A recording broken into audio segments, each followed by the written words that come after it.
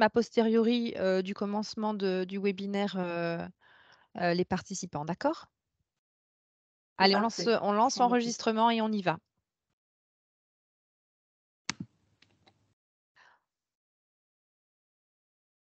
Bonjour à tous et bienvenue à la saga Australie et à ce 2e épisode consacré au PVT et au VIE mode d'emploi. Merci d'ores et déjà à l'ensemble de nos, heu, participants et qui se sont connectés ce matin et aux contributeurs, et conférenciers de ce matin qui ont bien accepté, notre invitation à participer à ce bel événement. Rappeler, heu, tout simplement que, heu, cet événement est co-animé, co-créé, co-organisé entre Pôle emploi et l'entreprise, heu, Australiance. Donc je suis donc Séverine Muller de la responsable de l'équipe mobilité internationale de Pôle emploi et j'ai le plaisir, ce matin de vous accueillir à ce 2e épisode de la saga Australie avec, Léo Denest. Bonjour à toutes et à tous, merci d'être avec nous ce matin. Heu, si on peut passer à la slide suivante, peut-être un petit rappel. Effectivement, cette saga Australie a été lancée en février dernier avec un tout 1er, heu, numéro qui était consacré au marché de l'emploi australien et nous vous proposons, heu, dans la barre de chat, dans quelques petites minutes, de récupérer le lien pour toutes celles et ceux qui n'auraient pas pu assister à ce 1er épisode et qui pourraient justement, bénéficier du replay pour avoir un maximum d'informations. L'épisode d'aujourd'hui, donc bien évidemment consacré au PVT et au VIE tel que je vous l'ai présenté tout à l'heure. Heu, à l'écran, vous avez aussi l'ensemble des dates, heu, l'ensemble des rendez-vous qu'on vous propose dans le cadre de cette saga Australie avec, heu, en mai prochain, une focale sur tout ce qui est stratégie de recherche d'emploi, le CV, la lettre de motivation, le pitch, l'entretien. Rentrer dans le dur, des techniques de recherche d'emploi et savoir effectivement, qu'est-ce qui différencie, la recherche d'emploi, les techniques de recherche d'emploi et les outils, quand on candidate sur le marché australien? Quels sont les codes? Quels sont, les trucs et astuces à savoir? Et vous saurez tout le 26 mai. Donc si le sujet vous intéresse, petit teasing, n'oubliez pas de vous inscrire. En bas à droite, vous avez, l'adresse de notre équipe, donc n'hésitez pas à vous y inscrire. Au mois de juin, nous ferons une focale sur l'interculturalité. Effectivement, heu, l'Australie est à quelques kilomètres, heu, quelques grands kilomètres de la France et effectivement, comme dans chaque expatriation, comme dans chaque mobilité internationale, il faut avoir cette curiosité interculturelle de voir comment, heu, évoluent les personnes, quels sont les codes culturels à connaître, quels sont en termes de management ou en termes, heu, de savoir-faire, savoir-être, heu, quels sont les trucs et astuces effectivement à à connaître pour bien s'intégrer et bien évoluer professionnellement et personnellement dans le pays souhaité. Donc nous vous invitons le 30 juin à participer à la saga consacrée à l'interculturalité. Et les 2 derniers rendez-vous de fin d'année, en septembre et en novembre, heu, seront consacrés à la démarche réseau et à la création d'entreprise ou à la création d'activités en Australie. Donc voilà, un programme bien alléchant. On espère, heu, que ces différents épisodes répondront à votre besoin d'en savoir plus sur cette destination. Mais retour, heu, peut-être, sur la 3e slide avec la capacité pour chacun d'entre vous de d'aller consulter, heu, via le lien qu'on va vous mettre dans le chat dans dans 2 petites minutes, heu, la capacité mmh, à aller voir le 1er épisode de notre autre saga, puisqu'effectivement, il y existe un replay que vous pouvez mobiliser. En sachant que chacun des épisodes que je que je vous ai, heu, dont je vous ai parlé, tout à l'heure dans le cadre du calendrier, fera l'objet d'une publication dans cette vidéothèque. Donc si vous ne pouvez pas participer aux différents rendez-vous qu'on vous propose, n'hésitez pas à aller fréquemment sur cette, heu, sur cette vidéothèque où vous trouverez tous les replays de notre saga Australie et merci aux différents participants pour leur droit à l'image et de se prêter à cet exercice pas toujours confortable de se faire, heu, enregistrer et de parler par par par, hem, écran interposé, donc merci à eux. Si on se focalise sur ce qui nous occupe aujourd'hui, je vais laisser la la parole à Léo pour présenter, les différents intervenants et je m'associe bien évidemment à Léo, pour remercier l'ensemble des équipes mobilité internationale de Pôle emploi ainsi que l'ensemble des partenaires qui sont aujourd'hui autour de cette table pour justement faire de cet événement, de ce nouvel épisode, une vraie réussite, j'en doute pas. Merci à eux d'avoir accepté l'invitation. Bah, un grand merci, hein, Séverine et à à toute l'équipe, heu, Pôle emploi pour cette opportunité. Donc de mon côté, je vais être le, premier à, présenter un petit peu. L'idée vraiment pour moi, c'est de vous donner un maximum de clés. J'essaierai de parler, de présenter plus un petit peu en macro sur les opportunités que peuvent présenter des moyens comme le PVT et le VIE. Et aujourd'hui, je suis euh, vraiment très content qu'on ait deux, euh, deux expertes. Euh, Julie, la cofondatrice de pvtist.net. bienvenue Julie. Si tu veux nous dire quelques mots sur toi. Alors oui, effectivement, donc je suis cofondatrice de pvtist.net, qui est un site d'information dédié au programme vacances-travail qu'on va vous présenter aujourd'hui. Et j'ai moi-même fait l'expérience justement de, du PVT en Australie il y a pas mal d'années. C'était une année incroyable, euh, vraiment que je regrette pas du tout et que je vous invite vraiment à, tenter. Euh, et, donc Julie présentera euh, en profondeur le mécanisme du PVT ou Working Holiday Visa en anglais. Et nous, et nous avons aussi le plaisir d'avoir Delphine de Business France parmi nous. Bienvenue Delphine. Bonjour Léo, bonjour à tous. Je, donc, je suis Delphine Vidal, je, suis, je travaille pour le service VIE et malheureusement je suis basée à Marseille. Je n'ai pas eu la, grande opportunité euh, de partir en Australie, mais je suis en charge du suivi euh, de tout notre réseau international et plus particulièrement de l'Australie. Euh, donc je vais vous présenter tout, tout ce qui concerne le VIE et tout ce dispositif qui vous permettra, j'espère vous, de pouvoir partir découvrir ce beau pays. Super, bah, merci beaucoup. Et donc effectivement, donc du coup la, présentation, donc elle va être en, trois temps.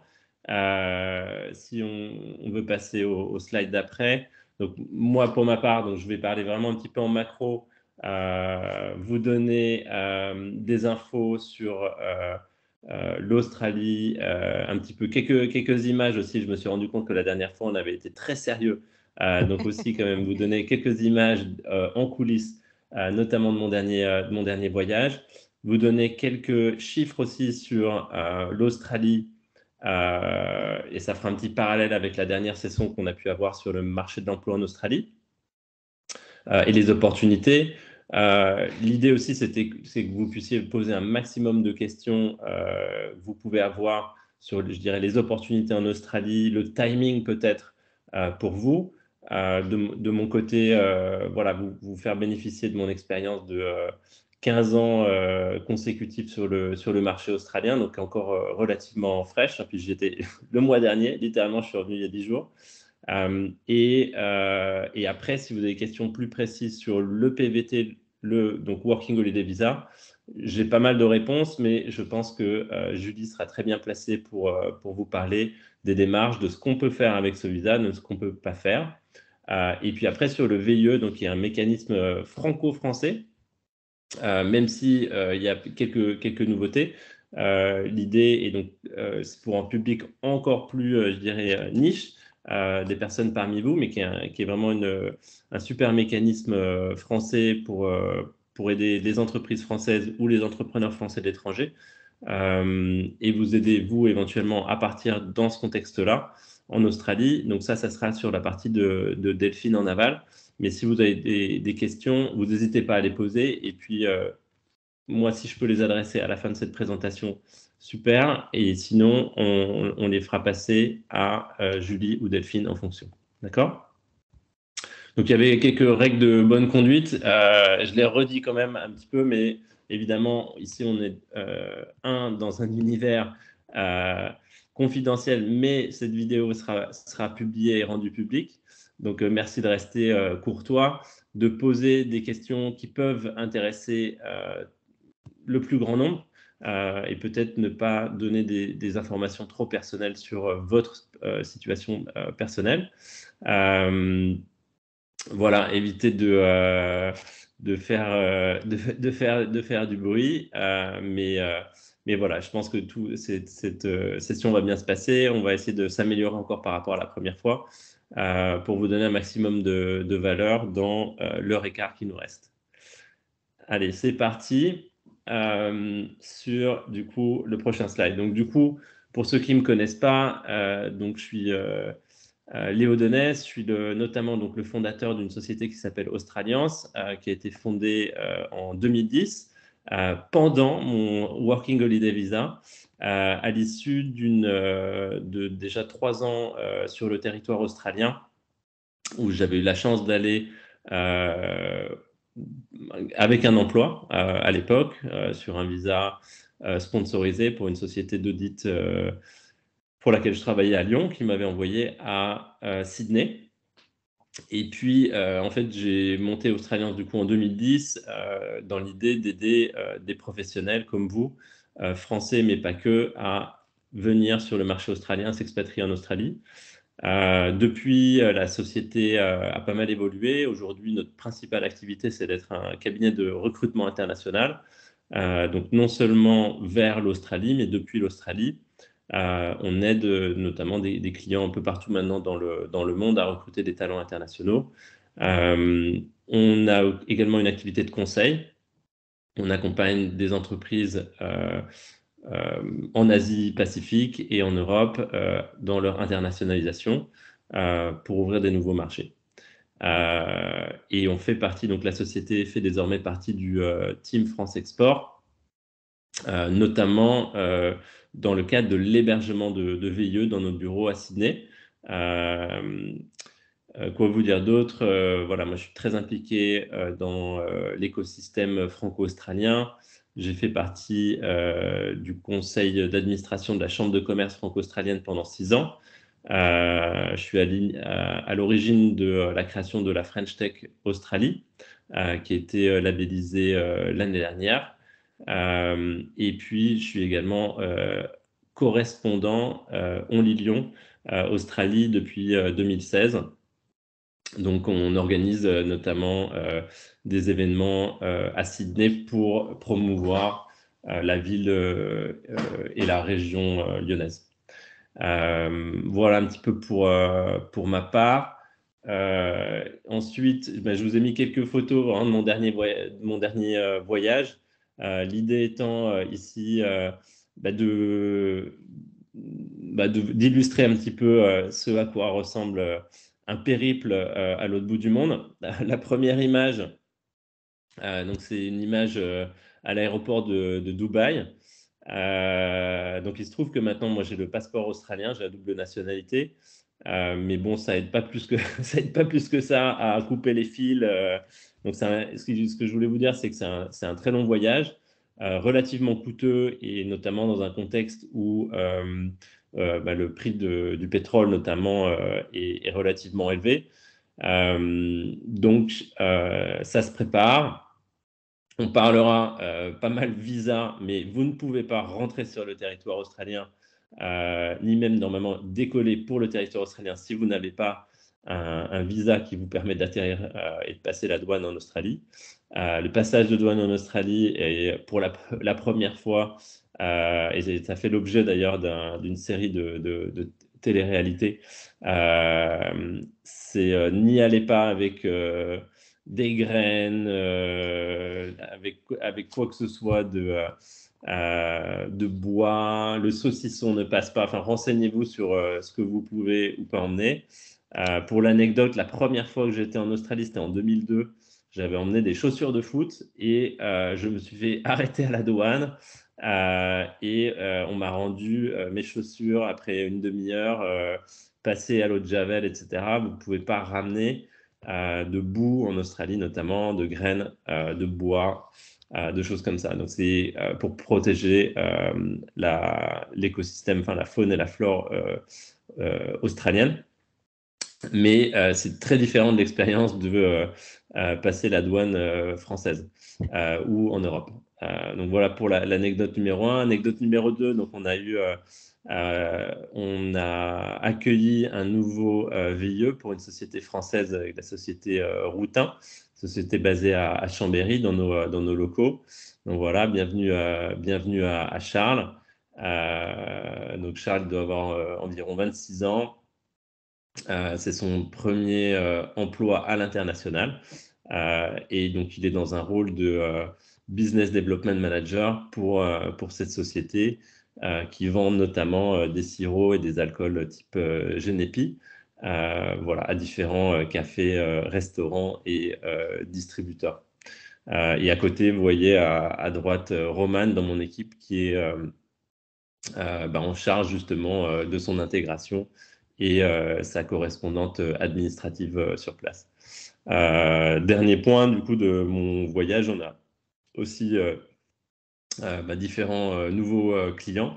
donc n'hésitez pas à vous rendre sur notre job board, notre site internet australianstalent.com ou australians.com et vous verrez, il y a une, rubrique job board. On est aussi très actif sur LinkedIn. voilà, un gros euh, disclaimer, comme on dit en anglais, on ne peut pas aider tout le monde.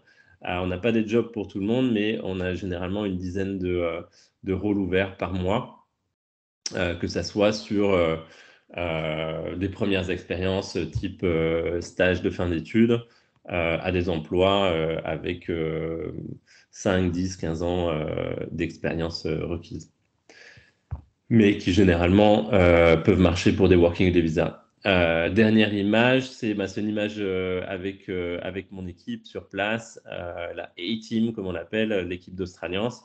On organise régulièrement, presque de façon mensuelle, des événements qui s'appellent Startup and Angel, où on a différents entrepreneurs qui viennent pitcher et qui viennent nous parler de leur, leur startup, du problème qu'ils qui résolvent.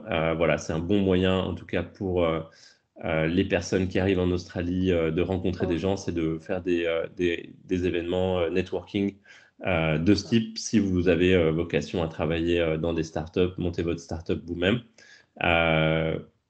mais voilà, donc je vous encourage vraiment à aller à ce type d'événements ou des événements en général, notamment ceux organisés par la Chambre de commerce quand vous êtes la Chambre de commerce franco-australienne quand vous êtes en Australie. Alors voilà, donc ça c'est un slide qu'on avait passé durant la dernière euh, conférence. C'est un petit peu pour vous donner des, euh, points clés. Euh, je crois que Julie reviendra dessus aussi pour vous donner un petit peu une idée de l'immensité de, l'Australie. voilà, ce qu'il faut savoir, c'est que c'est on a à peu près, donc on dit 55% de la population concentrée dans cinq villes, mais on a peut-être 85% de la, population sur les côtes euh, et euh, en zone urbaine. Donc c'est assez concentré, ce qui veut dire que dans le reste, bah, il y a du vide, du désert ou des grandes fermes. Et, voilà, donc après, quand vous choisissez d'aller en, Australie, voilà, vous pouvez, bah, déjà, il faut arriver à un, aéroport, donc ça va être assez souvent Sydney, Melbourne, voire Brisbane. Euh, ou peur si jamais on a des, euh, euh, des réunionnais qui nous suivent, c'est vraiment l'aéroport le, plus le plus proche.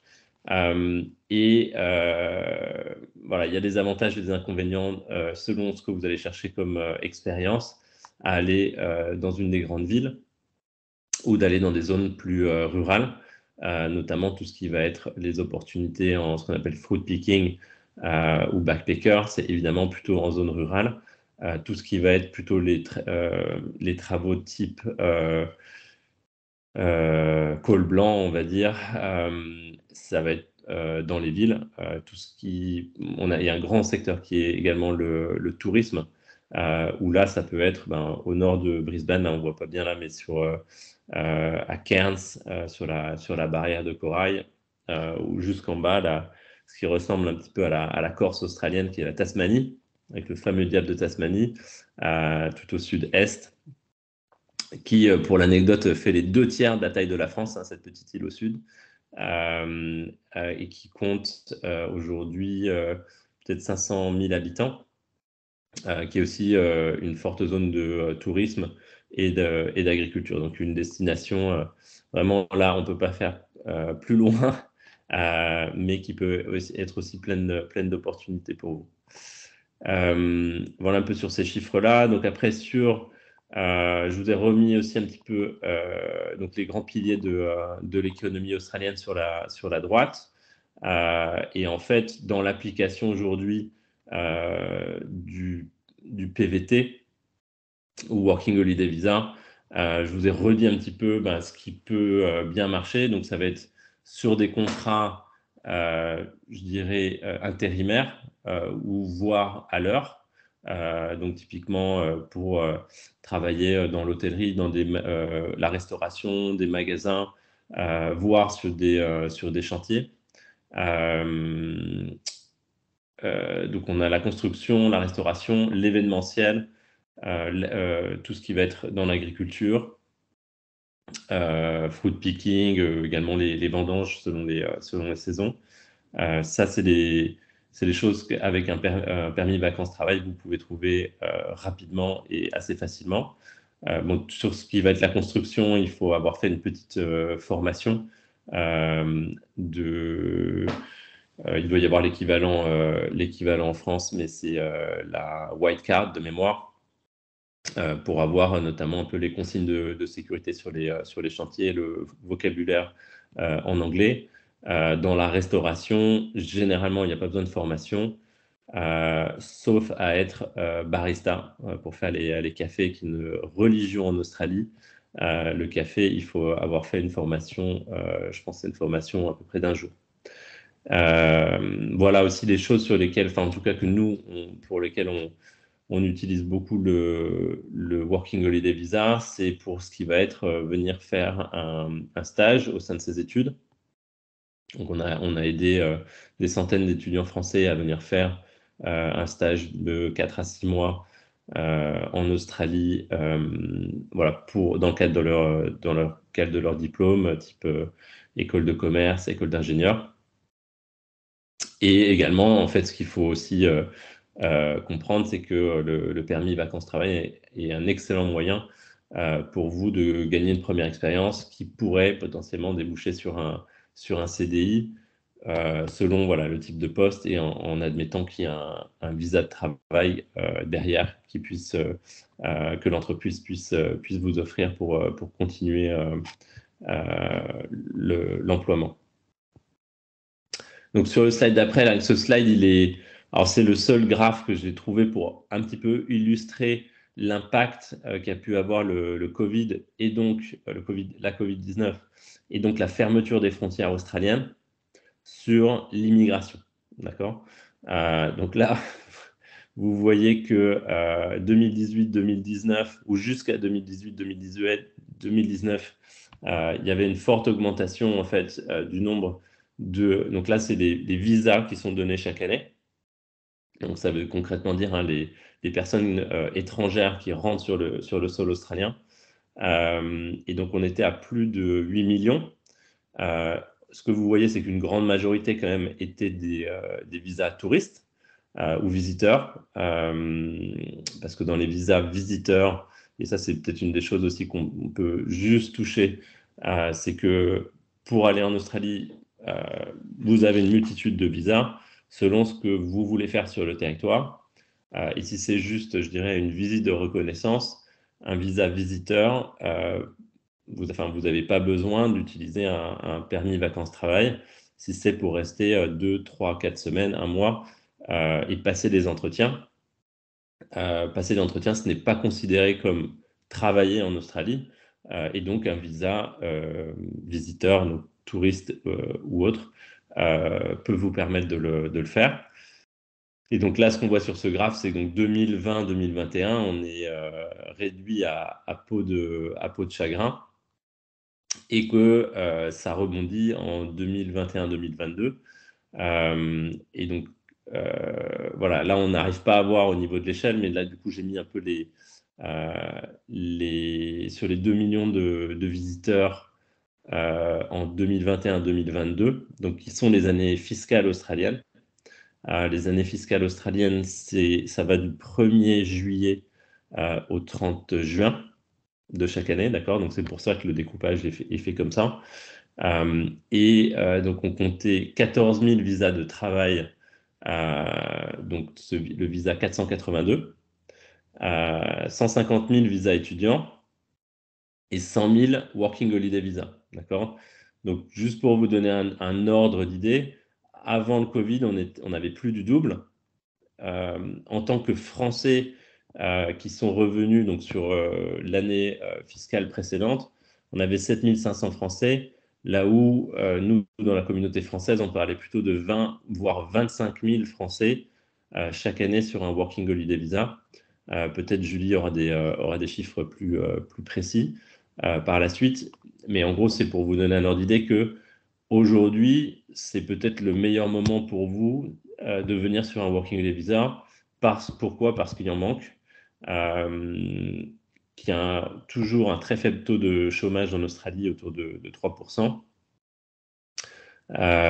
et que voilà, il y a une multitude d'opportunités, que ce soit sur euh, bah, des, jobs type euh, travailler dans des restaurants, dans des boutiques, euh, en agriculture, en construction, ou sur des jobs plus proches de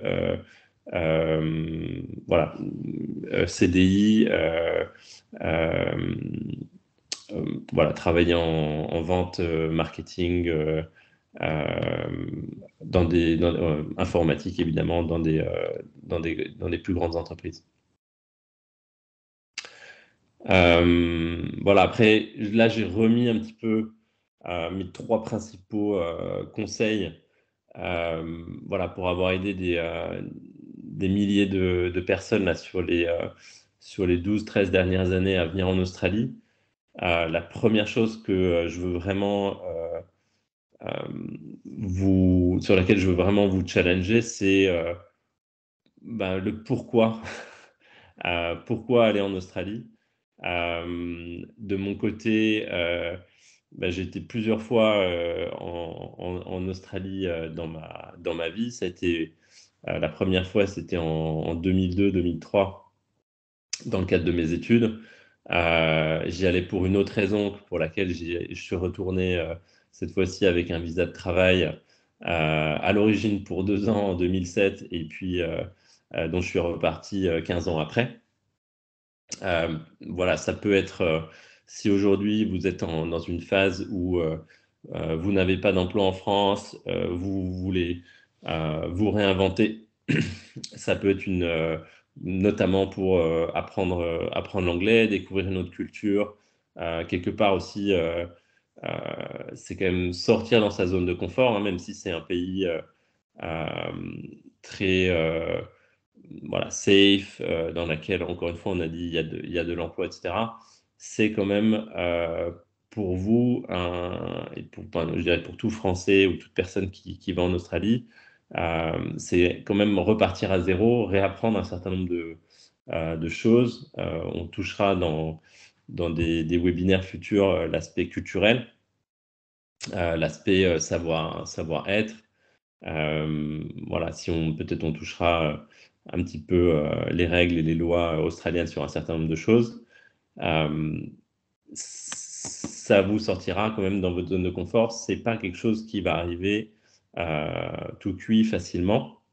donc voilà, moi j'encourage vraiment à réfléchir, à faire un plan, arriver avec quelques économies. On a parlé euh, je vous ai parlé du, euh, du voyage euh, en tant que tel. Après, il y a les deux premiers mois qu'il faudrait que vous arriviez à, pouvoir financer avec des économies si vous n'arrivez pas à trouver tout de suite de l'argent. Et ça veut aussi dire avoir préparé, ça veut aussi dire avoir préparé et contacté un maximum de gens en Australie en amont pour avoir des retours d'expérience.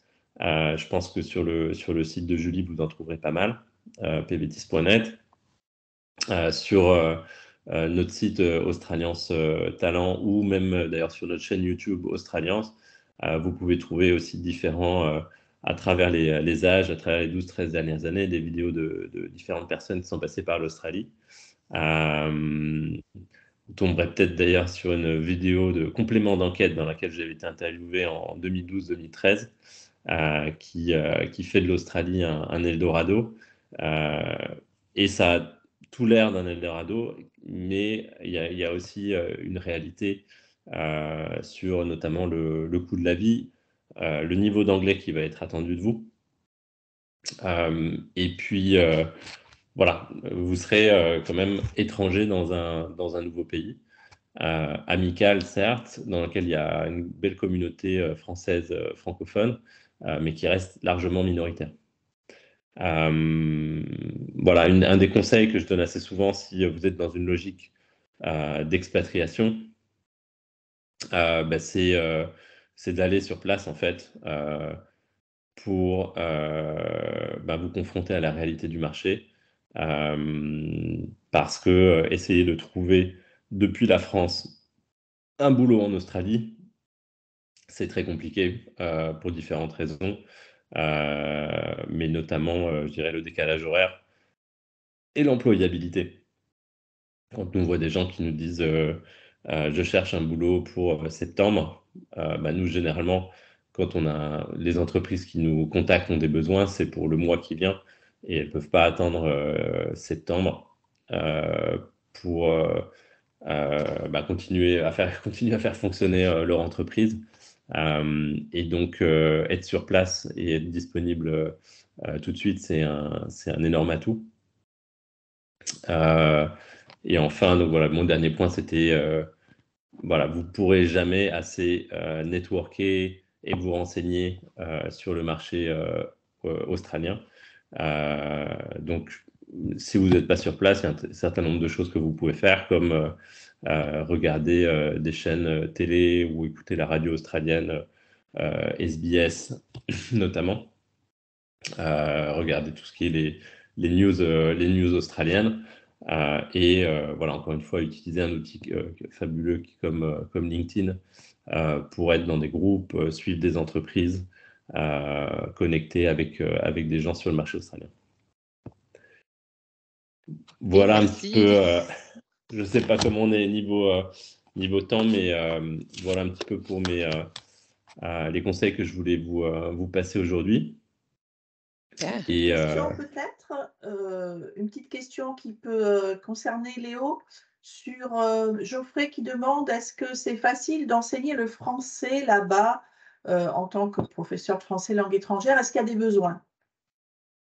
Alors oui, euh, alors oui, et ou mais. Donc il y a plusieurs façons de, le faire.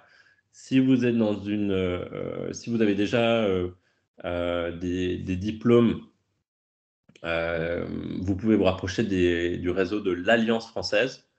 donc, alors je sais que a priori dans les grandes villes type Sydney, Melbourne, ça peut être un petit peu saturé, mais dans les plus petites villes, type Port Macquarie, euh, Newcastle, euh, même Brisbane ou euh, la Centrale Coast, c'est très demandé, c'est très rare en fait de trouver des, personnes qui puissent enseigner le français.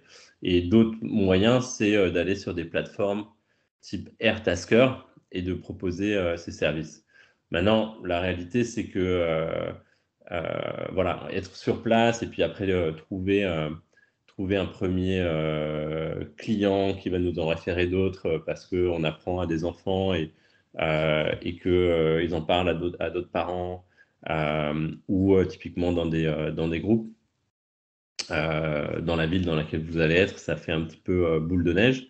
mais oui, c'est en tout cas, moi, je connais beaucoup de gens qui ont enseigné le, le, le, français, voilà, payé, payé à l'heure sur un certain nombre de, de leçons.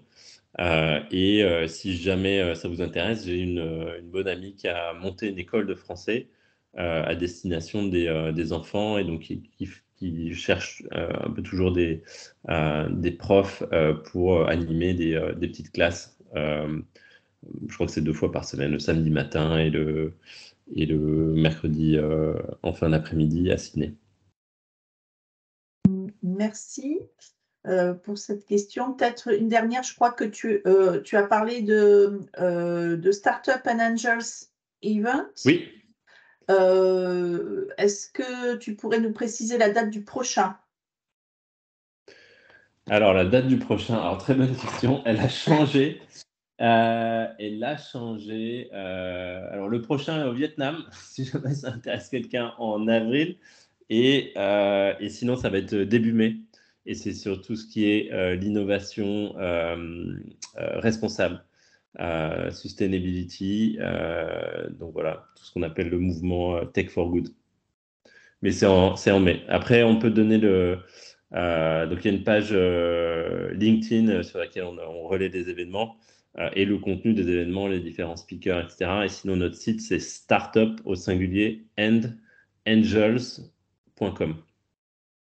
Ok, merci beaucoup. On va peut-être enchaîner. Il y a d'autres questions, mais je les garde pour plus tard, vous inquiétez pas. Et on, va enchaîner avec Julie, je suppose. Julie, c'est à vous. Merci Léo pour cette présentation. Plaisir, merci. On vous laisse la place, Julie. Merci. Alors, euh, bonjour euh, à toutes et à tous. Donc, moi, je vais vous parler effectivement du PVT, le programme vacances-travail. Donc, comme l'a dit Léo, on parle aussi du Working Holiday Visa, du Visa vacances-travail. Tout ça, c'est la même chose. Moi, je parle en français parce que sur pvtis.net, on va parler de toutes les destinations qui sont proposées aux Français. Donc, euh, au Canada, c'est le permis vacances-travail. Ailleurs, c'est un visa vacances-travail. Mais tout ça est englobé dans le programme vacances-travail, qui est un programme qui a été mis en place par le ministère de l'Europe et des Affaires étrangères en France et le ministère de l'Intérieur, puisque euh, les Australiens peuvent aussi venir faire un PVT en France. Donc voilà, quand je, je dirais PVT, ça englobe un petit peu tout ça. Euh, PVTIS.net, donc on existe depuis bientôt 18 ans. Au mois de juillet, on fêtera nos 18 ans. On est un site d'information euh, totalement gratuit. Donc vous nous retrouvez sur pvtis.net et sur l'application PVTist. Euh, l'idée étant de vous laisser faire vos démarches seuls, comme on a pu le faire nous par le passé, mais de vous donner toutes les clés pour que vous ne soyez pas perdus, aussi bien pour votre demande de visa, puisque la demande se fait tout en anglais sur le site des autorités australiennes, mais également pour tout ce qui est préparation au départ, tout ce qui est vraiment euh, euh, technique, enfin tout ce qui est paperasse, mais aussi les ressentis, les inquiétudes que vous pourriez avoir, etc. Et évidemment, on vous parle de ce qui vous attend une fois sur place, les premières démarches à faire à l'arrivée, la banque, le téléphone, le TFN. Vous verrez, vous devrez demander euh, ce document si vous voulez travailler en Australie. Et donc tout ça, ça peut être un petit peu inquiétant. On se demande un petit peu si on va savoir tout ce qu'il faut faire. Donc sur PVTist, à toutes les étapes, on a des, des informations à vous donner. On est également très présent sur les réseaux sociaux, que ce soit Facebook, YouTube, Twitter, Instagram et depuis quelques mois euh, sur TikTok également. Et on vous donne là aussi euh, des compléments d'information via des sessions d'information, via des euh, sessions de questions-réponses d'une heure toutes les semaines sur notre compte Instagram, ce genre de choses. Donc vraiment, n'hésitez pas à nous suivre un petit peu partout. Sur notre site, on a aussi un forum de discussion sur lequel vous pouvez interroger le reste de la communauté. vous allez retrouver des interviews d'anciens Qui parlent de ce qui était génial, ce qui l'était peut-être un petit peu moins. Euh, des problèmes pendant l'année, ça peut arriver, ou des déceptions aussi. Donc, on essaye d'aborder euh, l'expérience PVT dans son ensemble. Et on vous propose prochainement un salon du PVT euh, à Paris le samedi 17 juin à l'ambassade d'Australie, euh, juste à côté de la Tour Eiffel. Donc, si vous êtes intéressé par le PVT, ça vous permettra de rencontrer euh, différents exposants, mais aussi de parler à des gens qui ont fait l'expérience du PVT en Australie et qui pourront aussi vous donner un petit peu leur retour d'expérience. Est-ce que c'est quelque chose qu'ils ont aimé, qu'ils vous recommandent? Est-ce qu'ils ont peut-être des conseils pour éviter des erreurs? Ce genre de choses. Donc, je vous mets tout de suite dans le chat puisque je ne l'ai pas envoyé à l'équipe de Séverine, euh, le site dédié euh, au Salon du PVT Australie, c'est salonpvtaustralie.fr tout simplement. Voilà. Euh, ensuite, donc, je vais vous présenter le PVT un petit peu plus en détail si vous ne le connaissez pas. Donc, programme vacances-travail. Donc, c'est un programme qui, à la base, permet aux jeunes Français, entre autres, il y a une soixantaine de pays qui ont signé des accords. Donc là, je vais m'adresser aux Français. Euh, donc euh, les Français, ça leur permet de partir dans des pays assez lointains euh, pour y faire une découverte culturelle, touristique, linguistique facilement. En gros, je reprends un petit peu le, le, fonctionnement de base, même si Léo vous a déjà dit des choses. Si demain vous décidez d'aller dans un pays de l'Union européenne, on va prendre l'exemple de l'Allemagne ou de l'Espagne, vous prenez un train, un avion, un bus, quelqu'un vous propose un emploi, vous pouvez commencer tout à fait légalement dès demain parce qu'on a le privilège euh, dans l'Union européenne de pouvoir aller travailler facilement euh, dans, dans les pays euh, qui font partie de l'Union européenne. Mais alors, quand on sort de ça, c'est pas si simple. Il y a beaucoup de gens parfois que j'entends dire je vais partir travailler aux États-Unis ou je vais partir travailler en Chine. C'est pas toujours simple. Il faut un visa, un visa de travail. Et les visas de travail classiques sont pas toujours évidents à obtenir si on n'a pas le niveau suffisant dans la langue du pays, si on n'a peut-être pas le diplôme requis ou suffisamment d'expérience.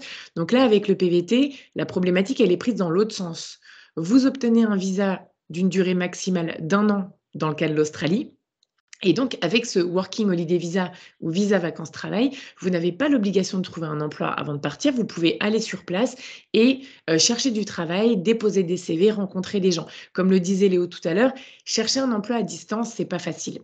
Euh, certains trouvent parce qu'ils sont dans des domaines qui recrutent beaucoup, où il y a une pénurie de main-d'œuvre en Australie, ce genre de choses. Mais pour beaucoup de plus petits boulots, le fait d'être sur place avec un CV qui montre que vous avez un numéro de téléphone australien, une adresse australienne, que vous êtes là, euh, que vous êtes disponible dès demain euh, pour faire un essai ou pour commencer à travailler, c'est beaucoup plus concret pour un employeur. Donc c'est vrai que ça peut un petit peu inquiéter de se dire, euh, alors je pars en Australie à plus de 10 000 kilomètres, et j'ai juste un visa et j'ai pas de j'ai pas d'emploi qui m'attend. Si c'est pas vous qui vous posez cette question, comptez sur votre entourage peut-être pour vous la poser. c'est assez fréquent qu'on nous le demande, mais partir sur place, c'est quand même la, façon la plus proactive euh, de procéder, en sachant que l'Australie vous demande d'avoir au moins 5 000 dollars d'économie. 5 000 dollars, c'est aux alentours de 3 300 euros aujourd'hui. Vous verrez en fonction de la période, la où vous partez. Et ces économies-là, elles vous permettent au début de vous loger dans un logement temporaire, en auberge de jeunesse, euh, en appart-hôtel ou en Airbnb, euh, de peut-être chercher une colocation ou d'acheter une voiture par exemple, de vous nourrir, de sortir le temps de trouver un premier emploi. J'y reviendrai un petit peu après. Un budget, ça s'estime de façon euh, très personnelle. Je veux bien qu'on reste sur la slide juste avant. J'avais pas tout à fait terminé, pardon. Euh, donc, le PVT, c'est un visa multi-entrée. Ça veut dire que vous avez tout à fait le droit de rentrer en France pendant votre séjour en Australie ou pourquoi pas d'aller en vacances en Nouvelle-Zélande, en Thaïlande, euh, où vous avez envie aux alentours. Quand vous arrivez, votre visa est validé pour un an. Ce que vous faites au milieu, sortir, rentrer, ça vous regarde. Il n'y a pas de critères de sélection dans le cadre du PVT. Ça, c'est vraiment un des gros atouts de ce programme. On ne regarde pas vos diplômes, on ne regarde pas ce que vous faites dans la vie, on ne regarde pas si vous parlez anglais ou non. Vous avez l'opportunité d'obtenir ce visa sans condition, à part bien sûr la condition d'avoir euh, l'âge requis, je vais y revenir après, mais d'avoir un passeport et d'avoir euh, suffisamment d'économie, comme je vous l'ai dit, mais c'est tout. Vous pouvez partir en PVT en Australie justement pour apprendre l'anglais ou pour vous améliorer. Vous avez une grande liberté de projet.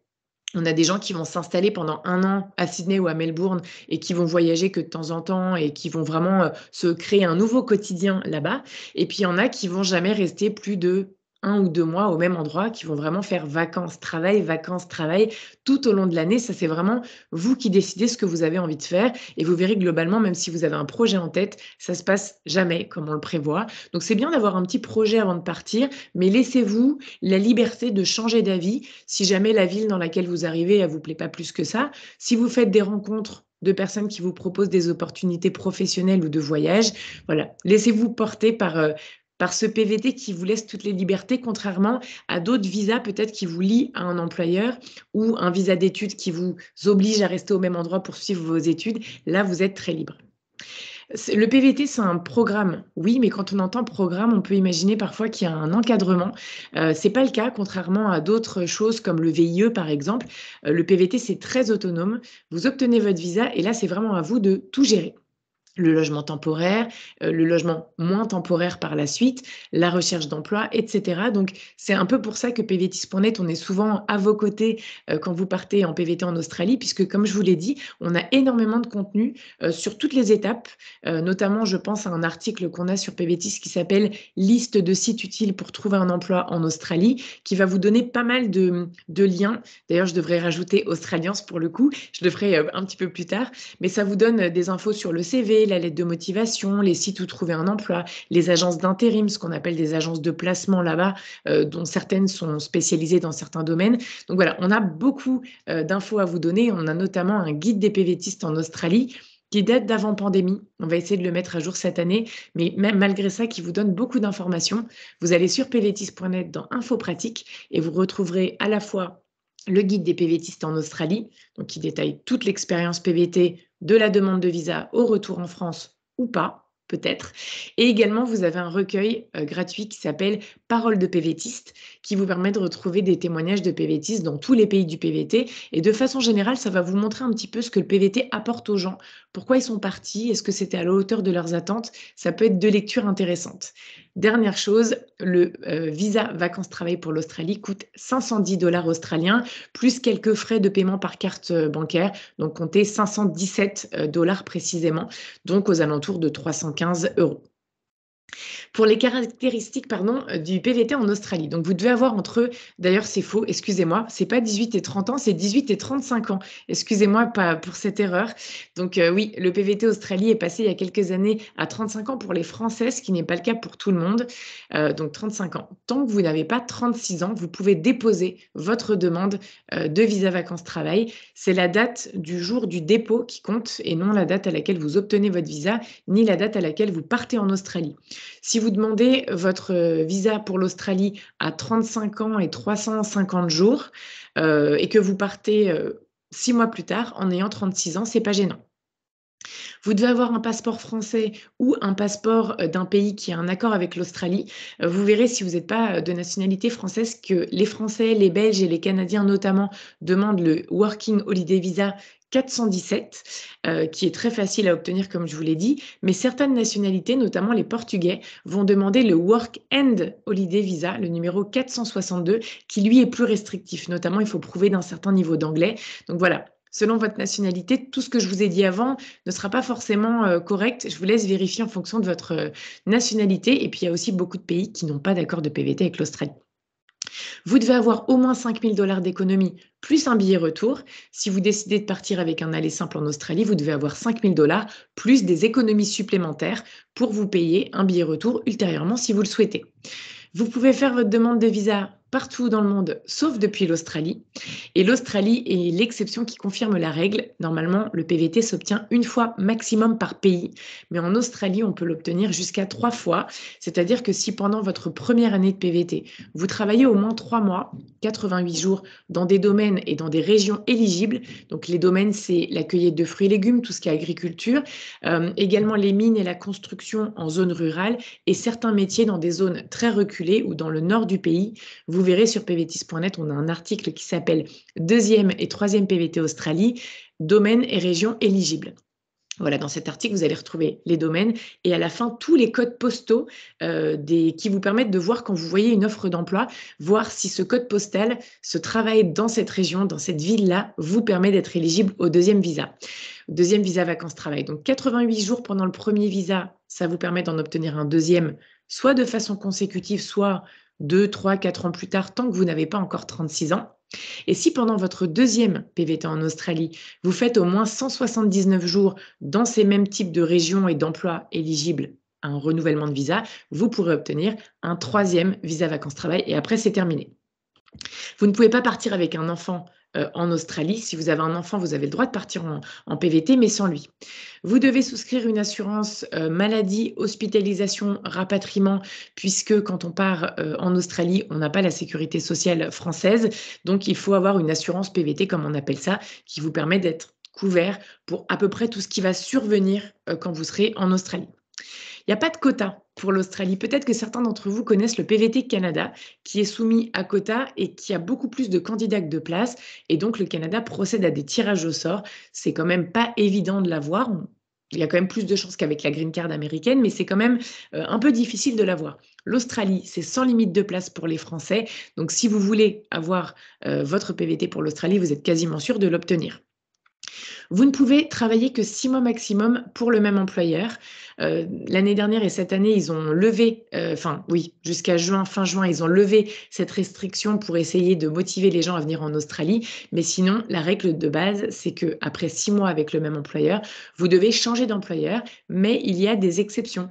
Si vous êtes au pair, si vous travaillez euh, dans l'agriculture, si vous travaillez également, qu'est-ce qu'il y a comme autre domaine? Si vous êtes dans un emploi qui nécessite que vous restiez un petit peu plus pour finir votre mission, il y a des exceptions qu'on a regroupées dans un article sur pvtis.net qui s'appelle Travailler plus de six mois dans la même entreprise en Australie.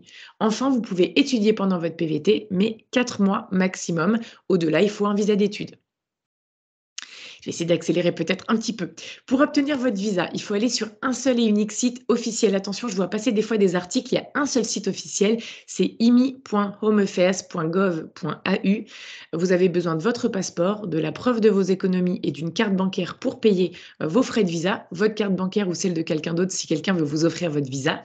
Sur pvtis.net, vous avez un tutoriel qui reprend toute la demande de visa avec des captures d'écran. Et depuis un an environ, sur notre chaîne YouTube PVTIS, vous avez aussi un tuto vidéo pendant lequel vous entendez ma voix tout au long de la demande avec l'évolution de la demande. Je vous ai suivi tout le long qui vous permet de faire votre demande avec à côté notre tuto pour vous rassurer un petit peu et vous guider dans vos réponses.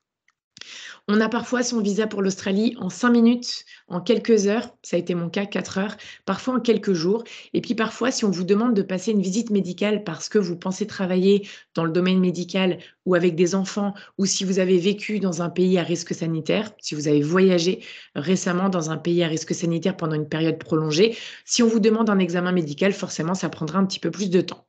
Une fois que vous avez votre visa, vous avez un an pour aller le valider. Si vous ne l'utilisez pas, l'Australie vous autorise à en redemander un ultérieurement tant que vous avez l'âge éligible pour participer au PVT. Simplement, vous allez devoir repayer les 510 dollars. Donc, ne vous pressez pas à le demander si vous n'êtes pas sûr de partir. Vu qu'il n'y a pas de quota, il n'y a pas d'urgence. Demandez-le peut-être 5, 4, 5 mois ou 3, 4 mois avant votre départ, ou même un an avant si vous le souhaitez, mais si vous êtes sûr de partir, ce serait dommage de perdre 500 dollars. Pour préparer votre départ, je parlais du budget tout à l'heure. L'Australie vous demande 5000 dollars. Les 5000 dollars, si vous partez seul en Australie et que vous avez envie d'acheter un van, il est possible que tout votre argent parte dans le van. Donc un budget, c'est individuel. Euh, ça se prépare en fonction du projet, en fonction de si on veut acheter un van, une voiture ou non. Si on pense commencer par du voyage ou commencer par travailler.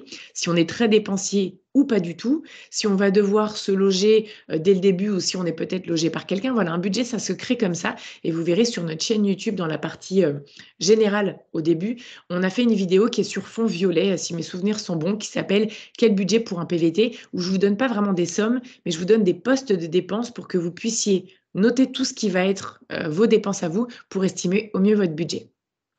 Je vous l'ai dit, vous, devez prendre une assurance PVT pour partir en PVT. C'est vraiment très, très important. Ne faites pas cette économie-là. Il euh, faut compter environ 400 euros l'année. Ça va vous couvrir pour euh, une grippe, une angine, une coupure, euh, quelque chose de pas très grave, mais aussi pour une appendicite, une hospitalisation en cas d'accident de voiture. il y a aussi une assistance juridique. Si vous avez besoin, c'est en cas de problème très grave d'être rapatrié, ça vous rapatriera dans votre, ça vous permettra de ne pas payer le rapatriement dans votre pays d'origine. Un rapatriement peut coûter quelques milliers d'euros et jusqu'à 100 000 euros, vraiment.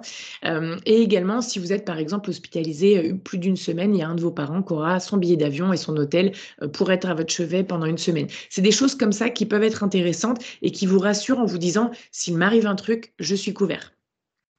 Pour le billet d'avion, euh, n'hésitez pas à ne pas attendre la dernière minute. Les prix ont beaucoup augmenté euh, en 2022 et c'est encore le cas là en 2023. Euh, vous pouvez, si vous pouvez pas, vous voulez pas tout dépenser maintenant, prendre un aller simple comme je vous le disais tout à l'heure. Si vous ne savez pas quand vous allez rentrer, d'où vous allez rentrer et si vous allez rentrer, au cas où vous restez pour une deuxième année de PVT, l'aller simple c'est la meilleure option. N'hésitez pas à faire un bilan de santé avant de partir. Ça peut être l'occasion de renouveler des lunettes, euh, des lentilles, faire vérifier votre vue. Un check-up des dents, c'est toujours utile parce que les assurances PVT couvrent pour les dents, mais pas à des plafonds colossaux. Je ne vais pas vous mentir, donc c'est bien de faire un check-up avant. Comme ça, ça vous évite la rage de dents en plein outback australien, mais également, ça vous évite euh, d'avoir peut-être des frais à payer euh, sur place. voilà, faites un check-up un petit peu général, ça vous permettra de partir en étant en bonne santé. Léo, tu veux peut-être ajouter quelque chose?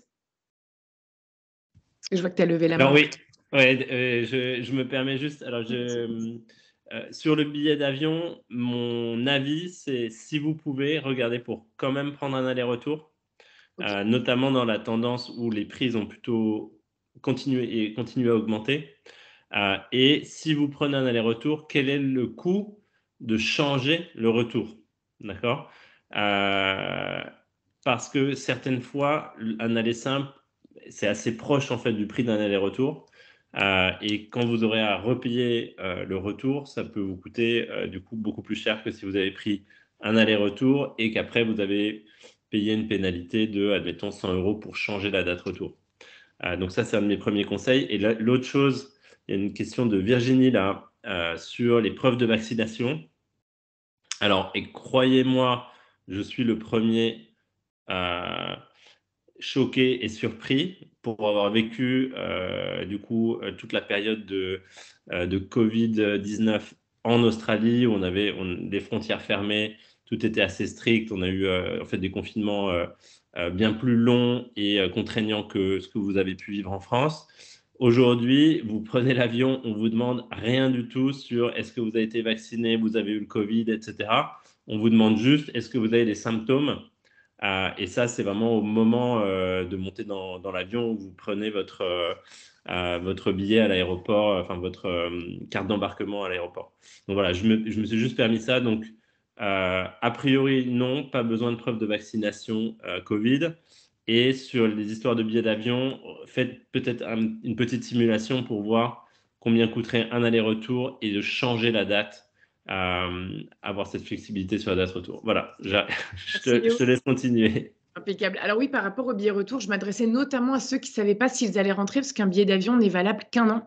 C'est-à-dire que si vous achetez un billet d'avion aujourd'hui, euh, par exemple pour partir euh, le 15 mai avec un retour euh, le 15 avril de l'année prochaine, vous ne pourrez pas changer votre date retour pour 2020. 5. Vous voyez ce que je veux dire Un billet ne dure qu'un an. Donc, ceux qui savent pas s'ils vont pas rester une deuxième année, c'était plutôt à eux que je recommandais le, l'aller simple, puisque le billet, le retour sera, sera perdu sinon. Par contre, effectivement, c'est intéressant ce que tu dis, euh, Léo, par rapport au changement de date. J'ai oublié, oublié de le dire. Quand vous allez sur pvtis.net, dans les bons plans, vous allez retrouver différentes choses. Euh, n'hésitez pas à sélectionner Australie et vous allez retrouver plusieurs agences, une agence physique et une agence en ligne qui proposent des billets d'avion. Et ces agences proposent des modifications soit gratuites, soit à 10 euros donc effectivement, ça peut être intéressant de se tourner vers elle pour euh, acheter votre billet d'avion en sachant qu'elle négocie euh, des tarifs auprès des compagnies. Donc en général, vous avez des bonnes offres par rapport à ce que vous trouvez directement sur les sites des compagnies. Donc voilà, à vous de réfléchir à ça. Moi, j'avais pris l'aller simple parce que j'étais pas sûre de rentrer à la fin de l'année. Par contre, si vous êtes sûr de rentrer, je suis tout à fait d'accord que l'aller-retour, c'est mieux, avec euh, date modifiable. Ensuite, euh, pensez à demander votre permis de conduire international. Ça se demande gratuitement sur le site service-public.fr parce qu'en Australie, le, permis français ne suffit pas. Il faut le permis de conduire international avec. Vous présentez les deux. Si vous ne le faites pas, vous allez devoir, pour conduire là-bas, faire traduire par un traducteur agréé votre permis français euh, en Australie. Ça va vous coûter 60 dollars environ. Donc euh, autant prendre le permis de conduire international. Euh, n'hésitez pas à vous faire une checklist, évidemment, des choses à faire, les résiliations, les procurations, toutes les démarches qu'on peut avoir à faire avant le départ pour ne rien oublier. Remettez-vous un petit peu à l'anglais si vous le souhaitez.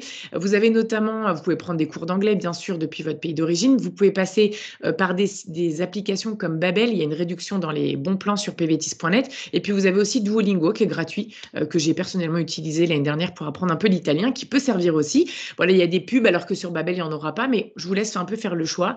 Essayez de vous dérouler un petit peu en anglais euh, et pourquoi pas de regarder un petit peu des, euh, des vidéos, des, des, films ou des séries australiennes pour commencer à vous familiariser avec l'accent. Pensez à réserver un logement temporaire pour la première semaine ou pour les deux premières semaines, auberge de jeunesse, Airbnb. L'auberge, moi, je préfère parce que ça vous fait rencontrer des gens tout de suite. Le Airbnb ou l'appart-hôtel, ça vous isole, donc à vous de voir, mais l'auberge est quand même pas mal pour rencontrer des gens tout de suite. Pour l'arrivée, donc vous allez dans l'avion remplir une incoming passenger card. Je ne vais pas beaucoup plus euh, m'étendre là-dessus. Vous aurez un exemplaire dans notre dossier sur PVTIS qui s'appelle l'arrivée en Australie. Et effectivement, comme vous le disait Léo tout à l'heure, il ne faut pas que vous ayez euh, des graines, des pommes, etc. dans votre sac. Attention à être bien euh, réglo sur ça. Vous allez devoir demander un Tax File Number, un TFN, pour pouvoir travailler en Australie. La demande se fera à l'arrivée sur place une fois que votre visa aura été euh, validé. Là aussi, on a un dossier euh, dédié entièrement sur PVTIS pour vous aider, vu que là aussi, tout est en anglais. Vous allez devoir ouvrir un compte en banque pour pouvoir toucher vos salaires. Euh, là aussi, on a un article de témoignage euh, sur PVTIS. je vous l'ai dit à tout, donc je vais peut-être pas répéter ça à chaque fois. C'est pas du tout compliqué. Les banques ont vraiment l'habitude de voir les PVTistes arriver. C'est une formalité. C'est gratuit dans la majorité des cas. En tout cas, certaines banques font des forfaits gratuits jusqu'à 25 ou jusqu'à 30 ans. Peut-être pour ceux qui ont plus de 30 ans, vous paierez quelques dollars par mois. Vous allez pouvoir aussi ouvrir une ligne téléphonique à euh, l'arrivée. Il y en a qui gardent un forfait free en France que vous pouvez utiliser là-bas. Mais en général, ça peut quand même être bien d'avoir un forfait, même s'il est petit, en Australie pour avoir un numéro de téléphone local. Et puis Free, c'est vrai que c'est hyper souple, mais il ne faut pas non plus utiliser énormément de gigas par mois. On a eu parfois des cas de personnes qui ont été contactées, à qui on a dit euh, vous abusez un petit peu de votre utilisation de data, mais on en a plein d'autres pour qui ça se passe très bien, donc euh, à vous de voir aussi là-dessus. Quand on passe plus de six mois à l'étranger, il est recommandé de s'inscrire sur le registre des Français établis hors de France, c'est-à-dire en gros s'inscrire au consulat de France en Australie. Ça vous permet de garder un lien avec les autorités françaises s'il y a une urgence un jour, un besoin de vous contacter. Euh, si vous perdez vos documents d'identité, ce sera plus facile de faire les démarches. Et également, s'il y a des élections en France pendant votre séjour en Australie, vous pourrez voter directement euh, au consulat. Ensuite, voilà, vous allez devoir décider. Est-ce que je m'installe dans cette ville ou dans une autre? Est-ce que je prends une colocation? Les gens optent plutôt pour de la colocation. Ou est-ce que j'achète une voiture ou un van et je pars sur la route c'est vous qui allez décider comment commence votre PVT. Et enfin, si vous euh, décidez de prendre une colocation, par exemple, notez que vous allez vous n'allez pas avoir besoin de garant. C'est pas aussi euh, plein de paperasse que ce qu'on connaît en France. Par contre, il faut prévoir un peu de budget parce qu'on va généralement vous demander deux à quatre semaines d'avance de loyer puisqu'on paye son loyer euh, à la semaine en Australie. Et ensuite, on va payer également généralement deux semaines de caution qu'on récupère à la fin. Donc, il faut prévoir un petit peu de budget. C'est pour ça que l'Australie vous demande d'avoir des économies de côté. Par rapport à l'emploi, tout à l'heure, Léo a parlé des domaines qui recrutent beaucoup. Je peux en, citer également euh, quelques-uns en doublon et puis d'autres. Donc, tout ce qui est agriculture, euh, la construction qui recrute beaucoup, la vente, la restauration. J'ai vu tout à l'heure quelqu'un qui disait J'entends que les gens ont du mal à trouver de l'emploi en ce moment. En ferme, c'est vrai qu'on constate un peu de concurrence. Je ne sais pas trop pourquoi. Peut-être que tout le monde s'est mis là-dessus pour avoir le deuxième visa vacances-travail. Par contre, dans d'autres domaines, tout ce qui est tourisme, hôtellerie, restauration, la vente, il y a du travail. Si vous voulez travailler en Australie, euh, il y a du boulot. Il n'y a pas de Donc attention aux professions réglementées. On évoquait tout à l'heure que euh, parfois dans la construction, il faut rejoindre un ordre ou obtenir une certification, une licence. Euh, c'est le cas aussi si on est architecte, ingénieur dans la santé, etc. Dans notre dossier sur l'emploi en Australie sur PVTiste, on a un chapitre dédié justement au règlement, aux professions réglementées. Le salaire minimum est de 21,38 actuellement de l'heure, mais vous verrez qu'en fonction de votre âge, si vous avez moins de 20 ans et plus de 20 ans sur un même poste, vous ne gagnerez pas forcément pareil. Les métiers sont euh, classés par Howard et des fois, les salaires minimums ne sont pas les mêmes. Par exemple, en cueillette de fruits et légumes, ça a été augmenté en 2022, euh, le salaire minimum, parce que c'est des emplois casual, donc c'est plus que les 21 euh, dollars, c'est plutôt aux alentours de 26 dollars de l'heure. Pensez bien à refaire votre CV au code du pays. Ça, je pense que Pôle emploi international saura très bien vous accompagner pour faire un CV efficace qui correspond au code de l'Australie. Pour chercher de l'emploi, je vous l'ai dit tout à l'heure, on a un article qui s'appelle Liste de sites utiles pour trouver un emploi en Australie qui va vous donner notamment SIC, Gumtree, les des groupes Facebook évidemment, les journaux, les agences d'intérim, etc. Je vous laisse regarder cet article pour pas être trop trop longue et laisser la place au VIE. Je vous l'ai dit, euh, tout à l'heure, on peut rester une deuxième, voire une troisième année avec le PVT en fonction des domaines dans lesquels on travaille, si on y travaille dans les bonnes régions et suffisamment de temps. En Australie, on est prélevé à la source au niveau des impôts, 15% d'imposition pour les PVTistes euh, jusqu'à 45 000 dollars par année fiscale. L'année fiscale va du 1er juillet au 30 juin de l'année suivante. Au-delà, c'est un petit peu plus de cotisation. Et on le disait, euh, on le disait tout à l'heure en off, il n'y a pas d'accord de retraite entre la France et l'Australie. Donc, on ne va pas cotiser à la retraite quand on travaillera en Australie. Par contre, dès qu'on travaille euh, à hauteur de 450 dollars par mois pour le même employeur, cet employeur cotise à un superannuation plan. C'est un fonds de superannuation, c'est un peu de la retraite justement. Et à la fin de notre PVT, on peut récupérer 35% de ce qui a été cotisé sur notre superannuation plan. Là aussi, vous vous en doutez, on a sur PVTist un dossier sur les impôts, les taxes et la superannuation en Australie. On termine par quelques petits conseils. Parlez le plus possible quand vous serez en Australie pour vous y améliorer. Plus on parle, mieux on parle. Côtoyer des, des francophones, si vous le souhaitez, c'est toujours bien d'avoir des amis avec qui on est totalement à l'aise en français, mais surtout ne côtoyez pas que des francophones. Si vous avez des collègues, des potes et des colocataires francophones, vous n'allez pas du tout pratiquer l'anglais, donc vous serez vraiment déçu, je pense, à la fin de votre année. Essayez un maximum de côtoyer des gens euh, d'origine différente pour parler un maximum anglais.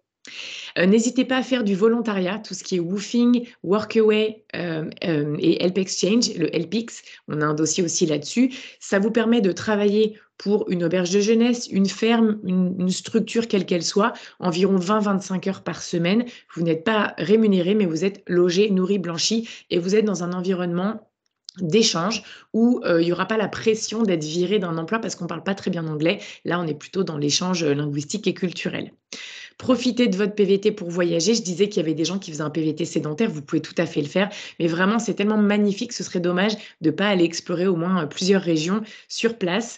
Et attention, aux distances en Australie, on le verra sur la slide d'après, le pays est vraiment immense. Quand vous prévoyez un road trip, attention à ne pas être trop ambitieux et pensez à bien reprendre de l'essence à chaque fois qui a marqué que c'est le dernier, euh, la dernière station essence avant un certain nombre de kilomètres parce que c'est vraiment, vraiment immense. Suivez bien euh, les consignes, hein, évidemment. En termes de météo, il peut y avoir des choses assez extrêmes en Australie. Euh, il peut y avoir voilà, des, moments où il ne faut pas sortir de chez soi. Il peut y avoir des, des incendies, des inondations. Faites attention à ça. Et aussi en termes d'animaux, je vous rassure, il y a plus d'animaux mignons que d'animaux dangereux en Australie, mais quand même on fait attention. Je pense notamment à tout ce qui se passe dans l'eau. Si on vous dit qu'il y a des requins à un certain euh, endroit ou s'il y a des crocodiles d'eau de mer, sortez. Ça nous est arrivé. On nous a dit sortez, il y a deux crocodiles d'eau de mer qui arrivent, donc il a fallu qu'on sorte. Euh, et en faisant ça, normalement, en prenant soin de soi, en respectant bien les consignes données par l'Australie de façon générale, vous euh, resterez le plus possible, en tout cas en sécurité.